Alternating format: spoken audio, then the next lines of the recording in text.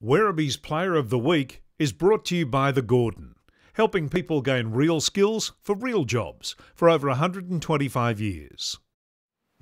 Welcome to this week's edition of the Gordon Player of the Week Real Skills, Real Experience for Real Outcomes. I'm joined by Jack Henderson, our Player of the Week this week. Hendo, how are you? Good, thanks, Hamish. That's good, good mate.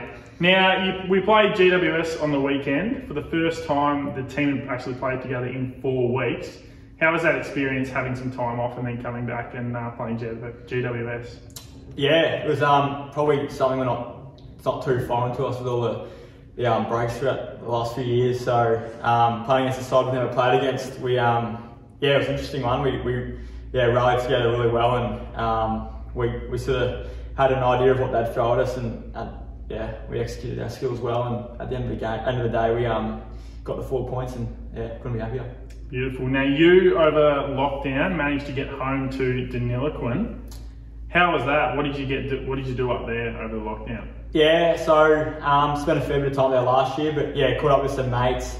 Um, managed to train locally, which yeah, a lot of boys couldn't do over that break here. So yeah, um, got a game in. Um, so last weekend and yeah, had, had, a, had a big win over Finley, the arch rival. So yeah, very enjoyable. Now you made the Herald Sun with that performance. How many did you kick? Uh, six. Beautiful. When yeah. was the last time you played uh, community footy before that? Um, probably for St Mary's in year 11. Yeah, so yeah, a little bit. Yeah, it's beautiful. Good to get back. Lovely. So how did you find on the weekend GWS? Obviously they were business as usual there for for pretty much um, the last month. Did you find it took the team a bit to get rolling? Yeah, yeah. First, yeah, first quarter was just a yeah bit of a shit show um, early, and we yeah mid, mid got us in. We didn't really have our usual tap numbers, which was like can be expected with a few weeks off, no physical activity, and um, we nailed that after the first quarter. And yeah, we never really looked back for the rest of the day, and it was great, great win.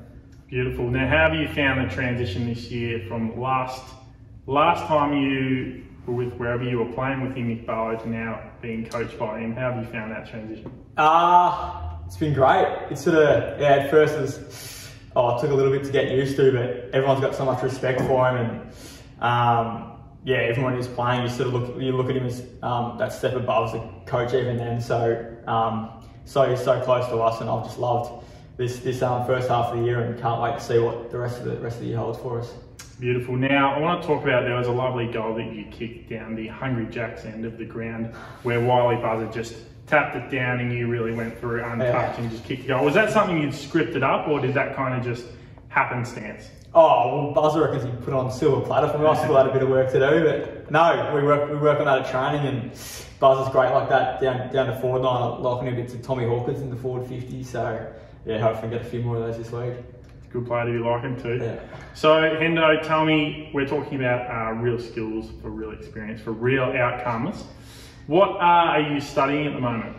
I'm um, studying studying a Bachelor of Agricultural Science and Commerce. So yeah, three years at the end of this year, three years into that, and then got a year to go. Yeah. Lovely. So did you do a bit of work back home on the farm when you're up there? Yeah, Dad had me working, so um, a bit of sowing the crops, and then probably towards the end of the year we'll we'll get in there and harvest them. So yeah, love getting back. Bit of fishing as well. Yeah, fishing. I can't say I caught too much.